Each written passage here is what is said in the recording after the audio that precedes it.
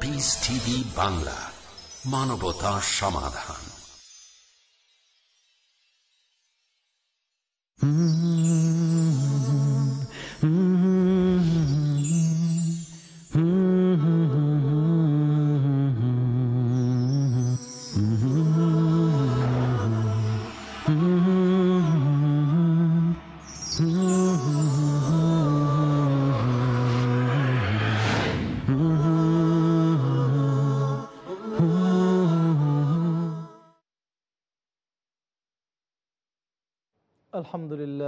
نحمده ونستعينه ونستغفره ونؤمن به ونتوكل عليه. ونعوذ بالله من شرور أنفسنا ومن سيئات أعمالنا. من يهده الله فلا مضل له ومن يضلله فلا هادي له. ونشهد أن لا إله إلا الله ونشهد أن محمدا عبده ورسوله.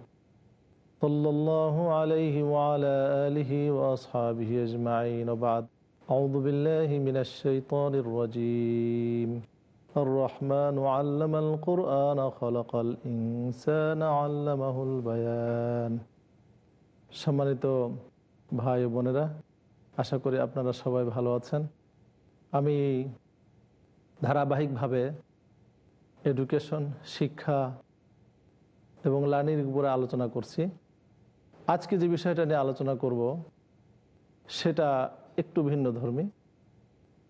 সেটা হলো ভাষা শিক্ষার ব্যাপারে। আমি যে আয়াতটা তেলাওয়াত করেছি সুরত রহমান, এখানে আল্লাহ পাক বলেছেন, আর রহমান অত্যন্ত দয়াময়। আল্লাহ আল কোরআন, তিনি কোরআনকে শিখিয়ে দিয়েছেন। ফলাকাল ইনসান আল্লামাহুল বায়ান। তিনি মানুষকে সৃষ্টি করেছেন এবং মানুষকে তিনি বর্ণনা করা শিখিয়েছেন।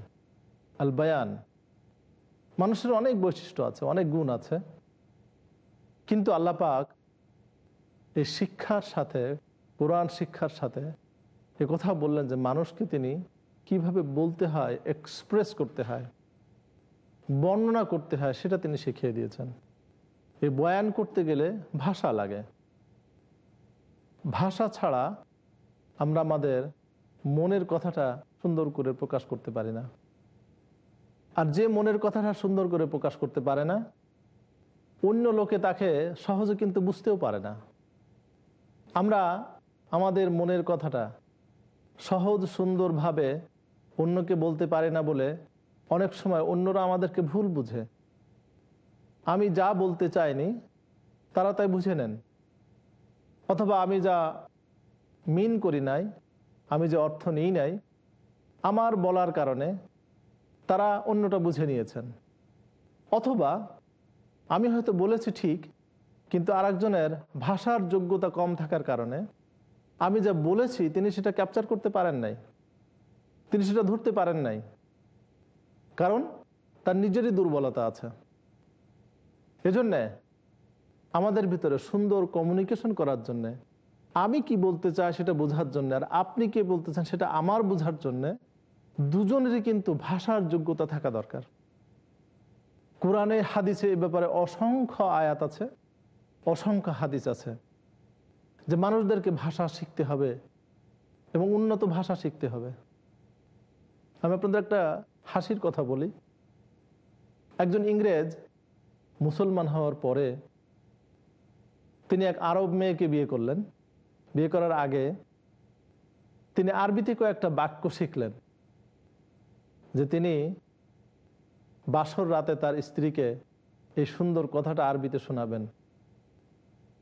এই কথাগুলোর ভিতরে একটা কথা ছিল যে, তুমি আমার হৃদয়, তুমি আমার প্রাণ। আরবিতে এটা বলে, আন্তে কালবি। কিন্তু ইংরেজ, এই কাল্ব বড় কাফটা উচ্চারণ করতে পারে না। তিনি খুব সুন্দর করে বাসর রাতে স্ত্রীকে আদর করে বললেন, আন্তে কালবি, তুমি আমার কুকুর। আপনারা জানেন, কুকুর বলা একটা বিরাট গালি। এই আরব মহিলা যখন বাসর রাতে শুনলে তার স্বামী তাকে বলছে, তুমি আমার কুকুর। তখন তিনি একদম ঘাবড়ে গেলেন। না জানি আমার এই স্বামী কেমন ব্যবহার করবে আমার সাথে। এটা শুধু হয়েছিল ভাষাগত সমস্যার কারণে। সমত ভাই বোনেরা, আপনারা এখানেই বুঝতে পারছেন যে প্রত্যেকের ভাষা শেখার কি দরকার। এই ভাষা শেখার দরকার অনেক কারণে। আমরা যারা অনেক বড় হয়ে গিয়েছি, আমরা অনেকগুলো ভাষা জানি না বা আমার নিজের ভাষাও জানি না, তাদের জন্য হয়তো এখন খুব বেশি সময় নেই একটা ভাষা শেখার। কিন্তু আমাদের নতুন প্রজন্ম, আদরের ছেলে মেয়ে যারা আছে, তাদের জন্য ভাষাটা শেখা খুবই দরকার। একজন শিক্ষক হিসেবে আমি দেখেছি যে ছেলে বা মেয়ের ভাষাগত যোগ্যতা বেশি, সে অন্য ভাষায়, অন্য সাবজেক্টেও অনেক ভালো করে। তার কারণ, প্রথমে সে পড়লে বুঝে, সহজে বুঝে, কারণ তার ভাষার সে যোগ্যতা আছে। দ্বিতীয়, অন্যরা যখন বলে, তখন সে সহজে বুঝতে পারে। শিক্ষক যখন ক্লাসে বলে, তখন সে বুঝতে পারে। আমি মাঝে মাঝে খুব মজা করি। ক্লাসেও খুব মজা করি, যোগ বলি। মাঝে মাঝে একটু হাই থটের যোগ বলি। তো দেখেছি যাদের লিটারেসি লেভেল ভাষার যোগ্যতা তাদের কম, তারা অনেক সময় হাই থটের ইন্টেলেকচুয়াল যোগগুলো তারা বোঝে না। কিন্তু যারা চালাক, যাদের ভাষাগত যোগ্যতা ভালো আছে, তারা এটা খুব তাড়াতাড়ি ক্যাপচার করে। এজন্যে অন্য অন্য গবেষকরা তারা দেখেছেন, যাদের ভাষা যোগ্যতা বেশি, যে কোনো ভাষায় হোক, সেটা ইংরেজি হোক, আরবি হোক, বাংলা হোক, উর্দু হোক। বিশেষ করে তার মাতৃভাষা, তার মাতৃভাষার যোগ্যতা যদি ভালো থাকে, স্বাভাবিকভাবে সে অন্য সাবজেক্টও ভালো করে। এজন্যে আমাদের বাচ্চাদের প্রতি খেয়াল রাখতে হবে যে ছোটোবেলা থেকেই যেন তাদের ভাষাটা চমৎকার হয়। দেখেন রসুল্লাহ সাল্লাহ আলাইসাল্লাম কুরাইশে জন্মগ্রহণ করেছিলেন এবং কুরাইশের ভাষা ছিল কিন্তু অনেক ভালো, শুদ্ধ ভাষা। কিন্তু জন্মের পর আরবের পুরনো প্রথা অনুযায়ী তাকে বনিসা আদিয়া গোত্রে পাঠানো হয়। তার কারণ কি?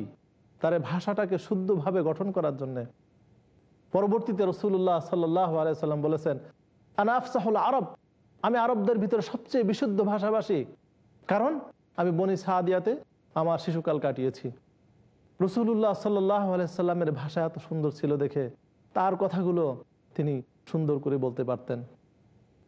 যখন তিনি একদম বেদুনদের সাথে কথা বলতেন, অত্যন্ত সহজ, সরল, সুন্দর ভাষায় কথা বলতেন।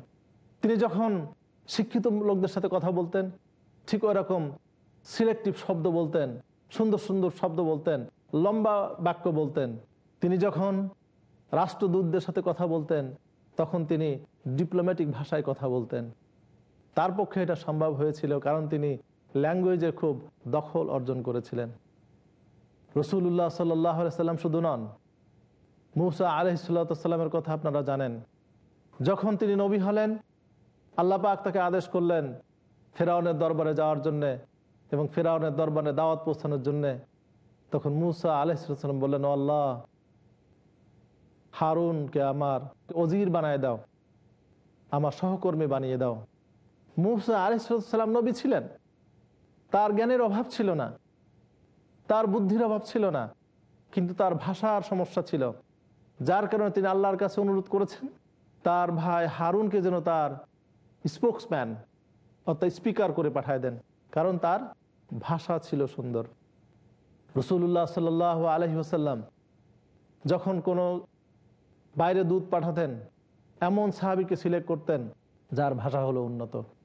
এখন আসুন, আমাদের বাচ্চাদের এই ভাষাগত যোগ্যতা আমরা কীভাবে বাড়াতে পারি?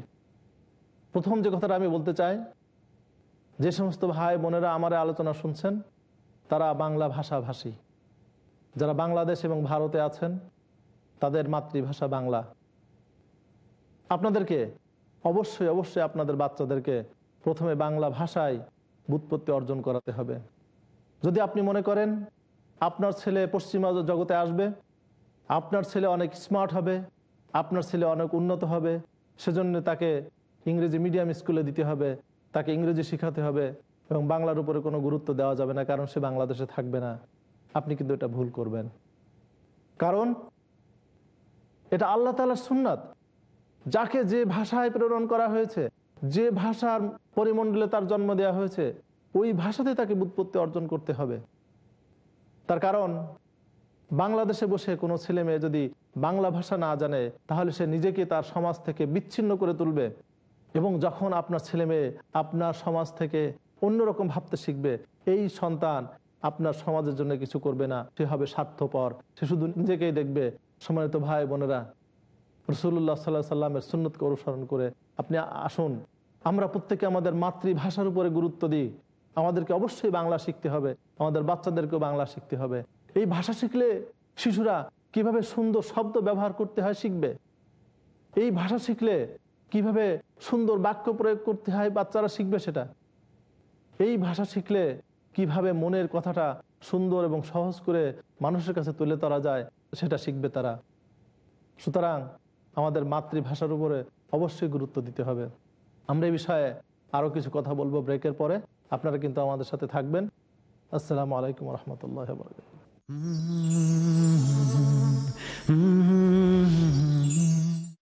দ্বিধা, দ্বন্দ্ব, মূল্যবোধের অভাব, প্রকৃত বিশ্বাসের অভাব, অসচেতন জীবনযাপন। ধর্মকে ভুলভাবে তুলে ধরা, ধর্মীয় গ্রন্থের পরিবর্তন এবং সংস্করণ যথাযথ তথ্য পেতে সকল ক্ষেত্রে আমি সংগ্রাম করছি সত্য প্রকাশ করতে। কারণ এটা যারা আপনার অধিকার। আর আমার দায়িত্ব সত্যটা বলা। দেখুন সত্য উন্মোচন প্রতি শুক্রবার থেকে বুধবার রাত নটায় আর পুনঃ সম্প্রচার সকাল সাড়ে সাতটায় বাংলাদেশে পিস টিভি বাংলায়।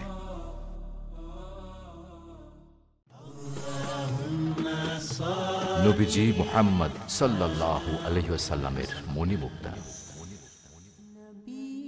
জাবির ইবনু আবদুল্লাহ রাজিয়াল্লাহু আনহু বলেন রসুল্লাহ সাল্লাহ সাল্লাম বলেছেন, পাঁচ ওয়াক্ত সালাতের উদাহরণ নদীর মতো, যার ঘরের নিকটে নদী রয়েছে, সে যেন পাঁচবার উক্ত নদীতে গোসল করে।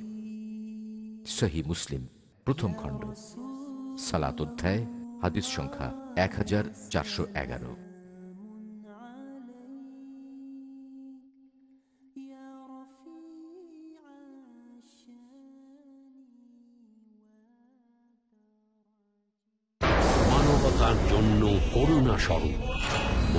চরিত্র দিয়ে।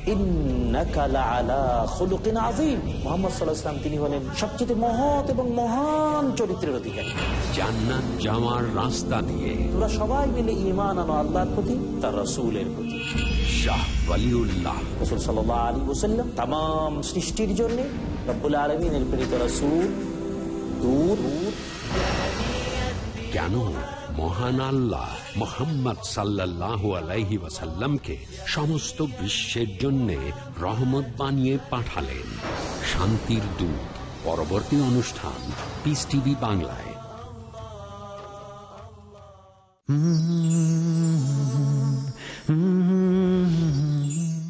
আসসালামু আলাইকুম রহমতুল্লাহ বরাকাত বিরতির পর আমরা ফিরে আসি আমাদের আগের আলোচনায়।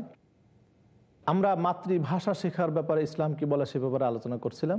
এ প্রসঙ্গে আমি সুরাত ইব্রাহিমের চার নম্বর আয়াতটা তেলাওয়াত করব।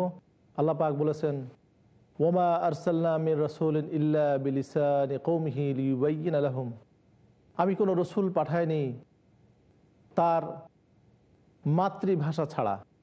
লিউবাইয়িন আলহম যাতে করে তিনি তার লোকদেরকে তিনি পরিষ্কার করে বুঝিয়ে বলতে পারেন। সমাত ভাই, বোনেরা, এই যে ভাষা, এই ভাষা কিন্তু আসলে আল্লাহ তালা অপূরব সৌন্দর্য।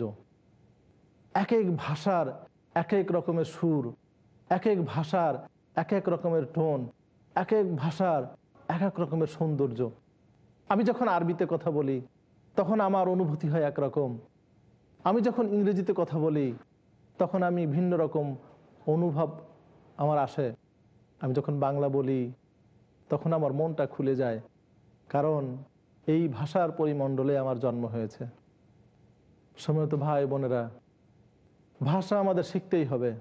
আমি নিজে আমার ভাষাকে সুন্দর করার জন্যে এখনও পড়ি। আমি গল্প পড়ি, আমি কবিতা পড়ি, আমি পত্রিকা পড়ি, আমি প্রবন্ধ পড়ি। কারণ ভাষা শেখার জন্যে পড়ার কোনো বিকল্প নেই। যারা আরবি শেখেন, আরবিকে সুন্দরভাবে শেখার জন্যে জাহেলিয়াতে যুগের কবিতাও তারা পড়েন। যে কবিতায় শির্কের কথা বলা আছে, যে কবিতায় যৌনতার কথা আছে, কিন্তু আরবি ভাষা শেখার জন্যে তারা সে কবিতাগুলোও পড়েন। তার কারণ, ভাষার সৌন্দর্য শেখার জন্যে।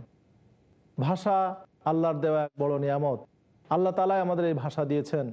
আল্লাহ পাক বলেছেন অমিন আয়াতিহি খালকুসামাওয়াতি ওয়াল আর্দ ওখতলাফ আলসিনাতিকুম ও আলওয়ানিকুম সুরতুর রুমের বাইশ নম্বর আয়াতে বলেছেন, যে ভাষার বৈচিত্র্য বিভিন্নতা এটা আল্লাহর একটা নিয়ামত, আল্লাহর একটা সৌন্দর্য। সুতরাং আল্লাহর এই সৌন্দর্যকে আরও সুন্দর করে পাবার জন্যে ভাষা আমাদের শিখতেই হবে। আমরা ইউরোপে দেখেছি, পুরো ইউরোপ এখন মাল্টিলিঙ্গুয়ালিজম। বহু ভাষা, বহু ভাষার দিকে ধাবিত হচ্ছে। কারণ তারা গবেষণা করে দেখেছে একজন মানুষ যত বেশি ভাষা জানে, তার ইন্টেলেকচুয়াল উন্নতি তত বেশি হয়। সে অন্যদেরকে তত বেশি সহজে বুঝতে পারে। অন্যদের সাথে সে তত বেশি কমিউনিকেট করতে পারে।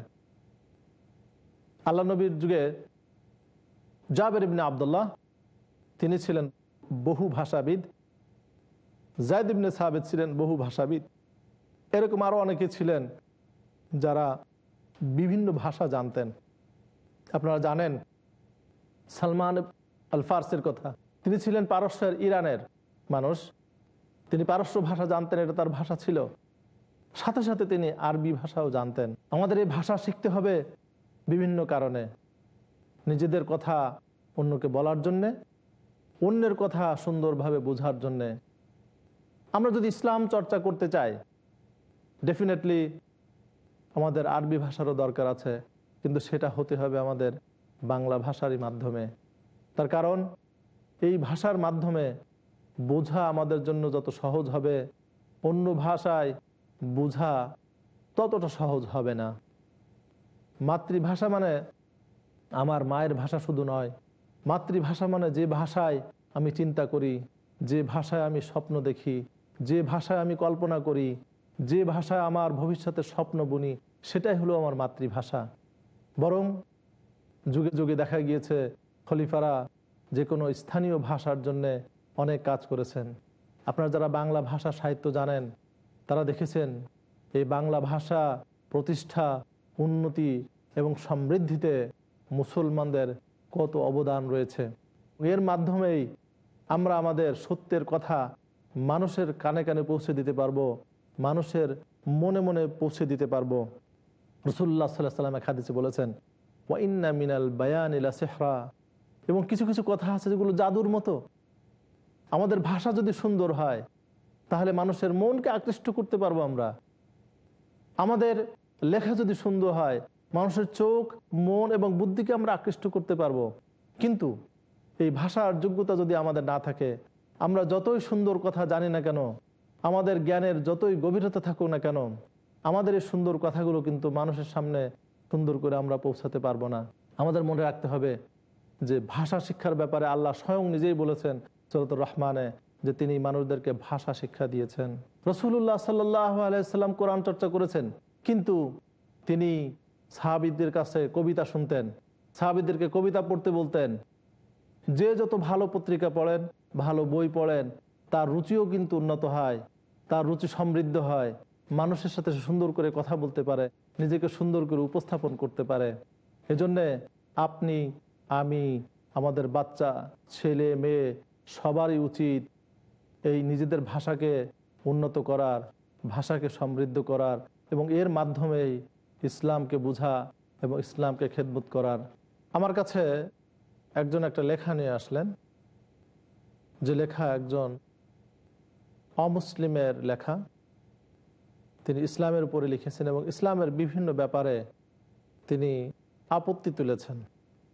এই আপত্তির ভিতরে একটা ছিল একটা হাদিসের অনুবাদ, যেখানে তিনি দেখিয়েছেন যে আল্লাহ ইজ জেলাস আল্লাহ হলেন মানে কাইন্ড অফ হিংসুটে। তো এটা নিয়ে তিনি আলোচনা করেছেন যে আল্লাহ হিংসুটে হন কি করে? আল্লাহ বিদ্বেষী। আল্লাহর মনের ভিতরে দোষ আছে। আল্লাহ যদি নিজের সম্পর্কে কথা বলতে পারেন, তাহলে সে আল্লাহকে আমরা কীভাবে উপাসনা করতে পারি? আমার কাছে তখন খুব অবাক লাগল যে তথাকথিত একজন গবেষক, যিনি আরবির একটা হাদিসকে সম্পূর্ণ ভুল অনুবাদ করেছেন। সে শব্দটা ছিল আল গিরা গিরা মানে তিনি ডিকশনারি খুলে দেখেছেন। গিরা মানে হলো জেলাস হিংসা বিদ্বেষ।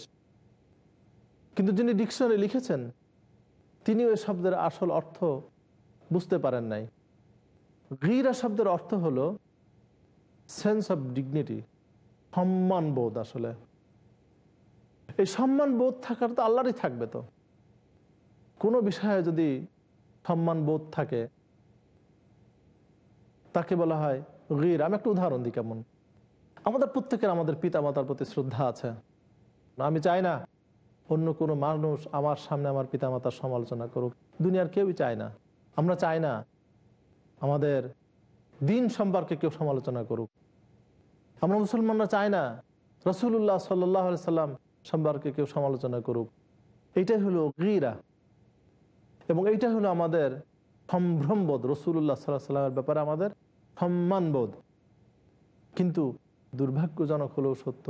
এই ইংরেজ এই শব্দটাকে তিনি জেলাস বা হিংসা বিদ্বেষ হিসেবে অনুবাদ করেছেন। তার কারণ হলো তিনি আরবি ভাষাটা সামান্য শিখেছেন, কিন্তু ভালো করে রপ্ত করতে পারেন নাই। ইসলামকে যারা বোঝে নাই, তাদের ভিতরে অসংখ্য মানুষ রয়েছেন যারা কোরআন শরীফের অনেক শব্দ, কোরআন শরীফের অনেক বাক্য তারা বুঝতে পারেন নাই। কারণ কোরআন শরীফ হলো আরবিতে এবং তারা আরবি ভাষা সামান্য শিখেছেন। আরবি ভাষায় তারা বুৎপত্তি অর্জন করতে পারেন নাই। সম্মানিত ভাই বোনেরা, আজকে আমরা যে বিষয়টা আলোচনা করতে চাই, সেটা হলো আরবি ভাষা শিক্ষার গুরুত্ব। আরবি ভাষা বলতে কিন্তু শুধুমাত্র কোরআন শরীফ তেলাওয়াত করতে শেখা নয়। যারা কোরআন শরীফ তেলাওয়াত করতে জানেন, এর অর্থ বলা যাবে না তারা আরবি জানেন। কোরআন শরীফ পড়তে পারা আর আরবি ভাষা জানা দুটো আলাদা জিনিস। আমরা এখানে আলোচনা করছি আরবি ভাষাটা জানা। শুধু কোরআনটা জানা না, কোরআন পড়াটা জানা না। আমরা মুসলমানরা জানি না যে অনেক আলেম বলেছেন যে আরবি শিখা প্রত্যেক মুসলমানের জন্যই ওয়াজিব কর্তব্য। রসুল্লাহ সাল্লাহ সাল্লামের জামানায় যারা তার সংস্পর্শে এসেছেন তারা নিজেরাই নিজেদের উদ্যোগে আরবি শিখে নিয়েছিলেন। আপনারা জানেন যে মিশরের ভাষা আরবি ছিল না। কিন্তু যখন মুসলমানরা সেই দেশে প্রবেশ করেছেন, তখন তারা তাদের লোকাল ভাষাকে বাদ দিয়ে আরবি ভাষাকে শিখে নিয়েছিলেন এবং আরবি তখন থেকে তাদের স্থানীয় ভাষায় রূপান্তরিত হয়েছে। সিরিয়া ডামাস্কাস এ সমস্ত এলাকায়ও আরবির প্রচলন অতটা ছিল না। কিন্তু মুসলমানরা আসার পর তারা আরবি ভাষা শিখে নিয়েছেন। দূর দূরান্ত থেকে সালমান আল ফার্সি সোহাইব আর রুমি বেলাল আল হাবাসি এরকম যারা এসেছিলেন, তারাও কিন্তু আরবি ভাষা শিখে নিয়েছিলেন। খলিফাদের যুগে আরবি ভাষা ছিল রাষ্ট্রীয় ভাষা, যার কারণে দূর দূরান্তে যে সমস্ত জায়গায় ইসলাম পৌঁছেছিল, সেখানে আরবি ভাষার প্রচলন ছিল ব্যাপক। প্রত্যেক মুসলমানে তারা নিজস্ব উদ্যোগে আরবি ভাষা শিখে নিতেন। তার কারণ হলো, এই আরবি ভাষাটা হলো কোরআনের ভাষা। এই আরবি ভাষাটা হলো রসুল্লাহ সাল্লাহ সাল্লামের ভাষা, তার হাদিসের ভাষা। কোরআন আমাদের প্রতি আল্লাহ তালার বিশাল এক দান। এই কোরআন যদি আমরা সরাসরি না বুঝতে পারি, তাহলে আল্লাহ তালার এই সরাসরি রিসালাত বা বাণী থেকে আমরা অনেক অংশে বঞ্চিত হতে পারি। ইমাম শাহি রহমতুল্লা আলাহি যখন দেখলেন যে তার সময়ে তিনি যখন দেখলেন যে অনেক মুসলমানরা, বিশেষ করে দূর দূরান্তের মুসলমানরা, তারা আরবি শেখায়, অতটা আগ্রহ দেখাচ্ছেন না। তখন তিনি বললেন যে আরবি ভাষা শিক্ষা করা সকল মুসলমানের জন্য ওয়াজিব। ইমাম ইবনে তাইমিয়া সহ ইমাম শাফিও বলেছেন যে আরবি ভাষা শিক্ষা করা ওয়াজেব এই জন্যে যে জ্ঞান অর্জন করা প্রত্যেক মুসলমানের জন্য ফরজ, আর জ্ঞানের মূল উৎস কোরআন এবং হাদিস হলো আরবিতে। সুতরাং যদি কেউ সত্যিকার অর্থে ডাইরেক্টলি কোরআন এবং হাদিস থেকে জ্ঞান অর্জন করতে চায়, তাকে আরবি ভাষা শিখতে হবে। সুতরাং এই আরবি ভাষা শেখাও তার জন্য ওয়াজিব। আসুন আল্লাপাক আমাদেরকে আমাদের ভাষা উন্নত করার তৌফিক দান করুন এবং এর মাধ্যমে তার দিনের খেদমত করার তৌফিক দান করুন। আমিন। ওয়া আখিরুদ আওয়ানা আনিলামদুলিল্লাহ রবিল আলমিন। আসসালামু আলাইকুম ওরহমতুল্লাহ বরকাতু হে